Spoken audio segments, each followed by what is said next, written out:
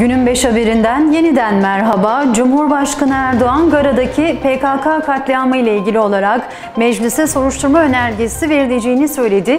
ABD'yi terör örgütüne destek vermekle suçlayan Erdoğan, yeni başkan Biden'a bunları iyi tanı diye seslendi.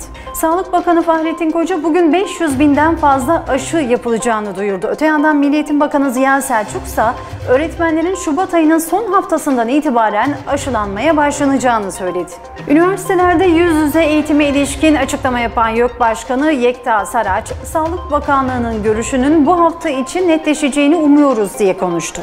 Büyükşehir Belediye Başkanı Ali Nur Aktaş, karla mücadele çalışmalarını aralıksız sürdüren personeli ziyaret etti. Başkan Aktaş, gece saat 12 itibariyle 17 ilçenin 103 kırsal mahalle yoluna müdahale edildiğini ve çalışmaların kesintisiz sürdüğünü söyledi. Uludağ'da kış festivali düzenleyen 15 üniversite öğrencisine pandemi kurallarına uymadığı gerekçesiyle 7305 lira para cezası uygulandı. Günün 5 haberini aktardık. Haber ayrıntılarına 16haber.com'dan ulaşabilirsiniz. Şimdilik hoşçakalın.